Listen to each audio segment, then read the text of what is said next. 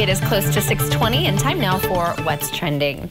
Listen to this, guys. The timing couldn't possibly be worse for a tattoo that a Kentucky woman got at the beginning of the pandemic. Leah Holland wanted to get a tattoo inspired by some kind words from a friend. Holland says that she and her friend were talking about things that they admired about each other, and he told her, You courageously and radically refuse to wear a mask, simply meaning that she is undeniably herself. And so, hey, she thought that was a really poetic way of saying that.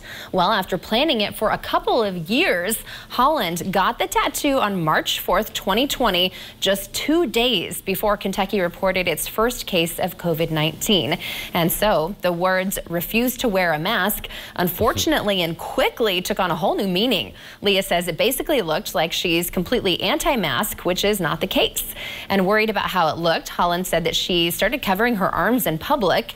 But now, over time, she's been able to laugh about it and even shared her tattoo story on TikTok this week, where it quickly went viral and gained national and international attention. So, oh my goodness, uh, you just have to feel for her, right? I mean, especially something that's been in the making and in the works for a couple years. You know, um, I think any tattoo, um, people put a lot of time and energy into thinking about exactly what they want. And so uh, she finally, you know, pulled the trigger, went for that, and uh, oh my goodness, very unfortunate. Yeah, and I like the meaning behind it too. Yes, you know, it's a great sentiment. Yeah. It is, it is. Uh, just the worst timing possible, I guess. Um, you know, and, and, it's funny that she actually is like taking the moment to, you know, encourage mask wearing and say that she's not against it. But um, you know, definitely uh, a very interesting and timely story to say the least, yeah. for sure. Yeah, this is just a random case of just bad luck because there's no way anyone could have foreseen something like this happening like that, where you get, you get a tattoo that for a different meaning, where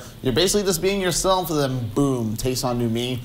I don't know. It's totally just no way you could have avoided that. Yeah, yeah. absolutely. Glad she has a good attitude about it, though. Right. And it's kind of funny yeah. that, you know, at times she wanted to cover it up well, right. the sheep in this next story is kind of having the opposite effect here. A wild sheep found in a forest in Australia named Rock by rescuers has yielded a fleece, thank you, weighing uh, more than 77 pounds. check this out. The sheep was found by a member of the public who contacted the Edgar's Mission Farm Sanctuary near Lancefield, Victoria. It's about 37 miles north of Melbourne. Wow, the sheep was wow. severely underweight, uh, if you can believe it, and could barely see because of the thick matted fleece. One of the sanctuary workers said sheep need to be shorn at least annually, otherwise the fleece continues to grow and grow as that uh, that's exactly what happened here. After his much needed shearing, workers say Baarack's fleece weighed in at around 78.4 pounds. Wow. Baarack is now settling in with other rescued sheep at Edgar's Mission. Uh, and just watching the video of this is astounding. Uh, you know, it, it, the, the wool itself was, you know, it's much more sizable than the sheep itself, um, but he looks a lot more comfortable. There he is after getting all of that taken off of him. uh, and I, I, I got to wonder how many coats or articles of clothing would you be able to make with just his uh, wool there. Right, with 78 pounds of it. Yeah, oh, he looks so much happier now. Mm -hmm. um, but yeah, how interesting too, though, that underneath it all, he, he was on the skinnier side. Right. And I also, though, have to wonder um, just how he was doing that um, in Australia, of all places, right. you know, a place that has a much warmer climate.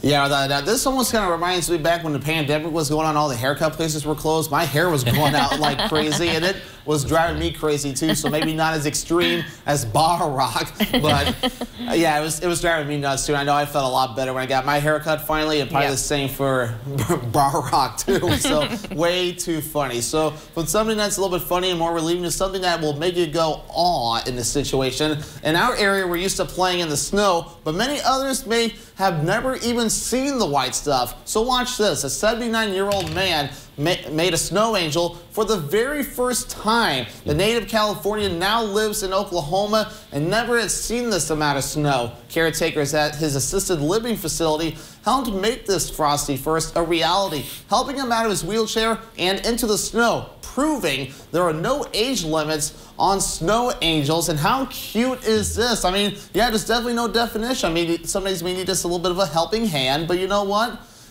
So be it. If you can do it, do it. It's fun. Snow is fun. Yes, he's clearly enjoying himself, and he makes a really good one. That's yes. that's a fantastic looking snow angel. Great and uh, and I love too. Just obviously, you know, the caretakers at his facility are, are willing to go above and beyond and uh, and do anything for their residents. So uh, speaks a lot to them, and and I'm, I'm glad that he was up for it. Right? Um, that's just awesome. It is so great. I love just watching them kind of gently lower him into the snow, uh, right in his element there. Yeah. Um, and you know, I can only imagine what is going through his head as someone who's never seen that much snow. Um, you know, we're we're all used to it at this point, um, but it's just so amazing to to show that it's uh, an activity so so simple as that can really uh, bring all these uh, just childlike emotions out of Yeah, us. so That's much awesome. joy. Mhm.